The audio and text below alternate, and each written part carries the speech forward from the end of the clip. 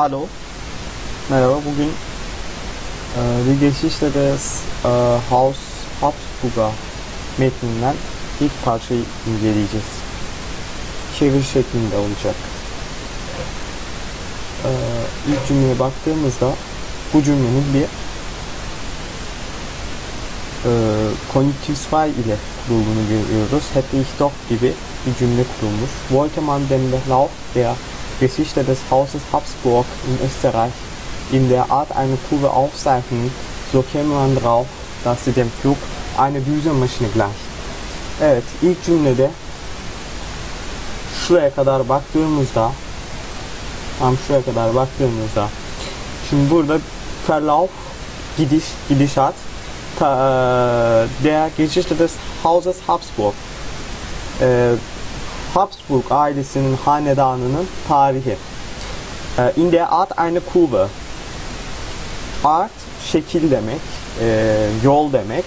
Kurve e, genel olarak şu yani eğriye kurve diyoruz ama burada hani tablo şeklinde e, bir şey hani demek istemiş. Bu ilk cümleden anlamamız gereken eğer Habsburg hanedanının gidişatını bir grafik, bir çizgi şeklinde e, işaret etmek, anlatmak isteseydik şu şuraya gelirdik. Yani şu şuna gelirdik. E, so käme man drauf, dass sie dem Flug eine Düsenmaschine gleicht. E, şimdi şöyle e, Flug Flug eine Düsenmaschine. Düzenmaschine e, jet motoru yani jet gibi e, bir şey e, gibi yani çok benzer olurdu buna. Hani bir jet motorunun uçmasına çok benzer olurdu diyor. İlk cümle bu kadar. Ein verhältnismäßig steiler Aufstieg zur Größenhöhe, dem dann ein langer und allnächtlicher Abstieg folgt. Evet burada e, bununla ilişkili yani çok dik bir yükseliş. Aufstieg yükseliş demek. Steil dik. Çok dik bir yükseliş e, yani büyüklüğe höhe yani en yüksek noktasına çok büyük bir yükseliş. Daha sonra e, elmeklik yavaş demek. Sonra bunu takip eden yavaş bir iniş. Jet motoru gibi çok hızlı bir yükseliş var çok dik. Sonra e, bunu takip eden yavaş bir iniş olduğunu görüyoruz. Als der Reichstag in Augsburg König Rudolf damit beauftragte, die Schäden zu heilen, die die Kaiserlose die schrecklicherseits verursacht hatte, bezeigte er zwar genug Vertrauen in den Habsburger, diese werde stark sein, um Gesetz und Ordnung im Südosten aufrecht zu halten. E, bu cümle genel olarak zor bir cümle. Şimdi bu cümleyi parça parça incelememiz lazım.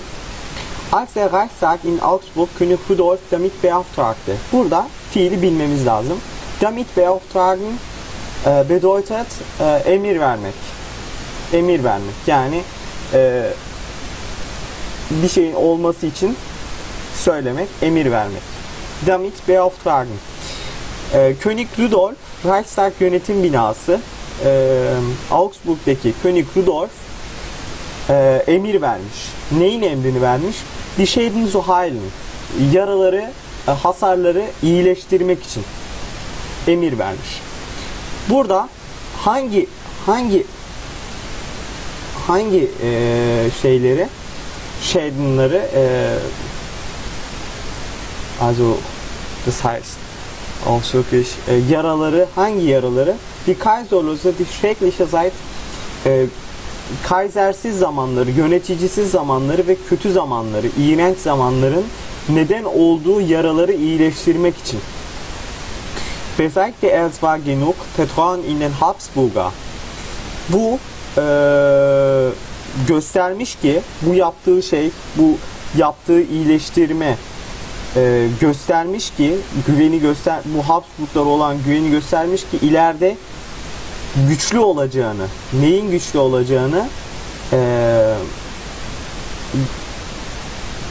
yasaların ve düzenin e, Güneydoğu'da aufrecht zu halten e, dik tutmak, e, doğru tutmak yani stabil tutmak bu göstermiş ki bu Rudolf'un bu hareketleri göstermiş ki Güneydoğu'da e, yasaların ve düzenin doğru tutulacağını göstermiş. Yani Habsburg'a olan bu güvenin doğru olduğunu göstermiş.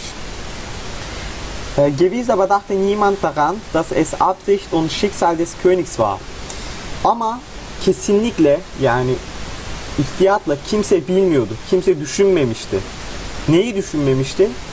O bu kralın ciddi, kasıtlı ve kaderi olduğunu e, orada yani kimse kralın orada Dauren'de dinasti şey demek dinasti e, sürecek olan bir e, dinasti soy demek soy kurmak begründen de kurmak demek kuracağını e, kimse düşünmemişti yani e, Rudolf'un böyle bir dinasti kuracağını kimse düşünmemişti.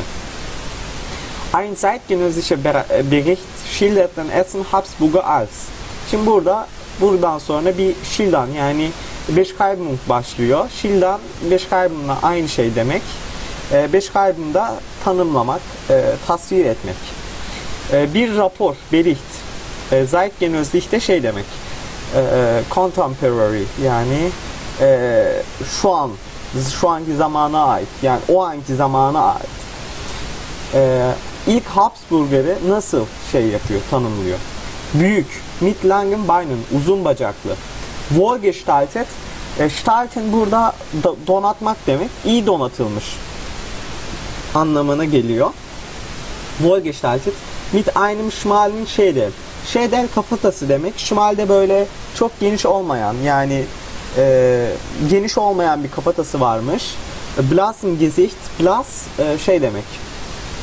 Gri gri tonlu mu diyelim. Soluk. Soluk Gesicht, e, yüz yüz yani soluk bir yüzü varmış. Eine lange Nase, uzun bir burun. Spärlichen Haaren, e, seyrek saçlar. Langen, schlanken Händen, e, uzun ince eller. Schlank böyle bir çubuk gibi bir şey düşünebiliriz. Ein Mann, der im Essen, Trinken und anderen Dingen mäßig ist.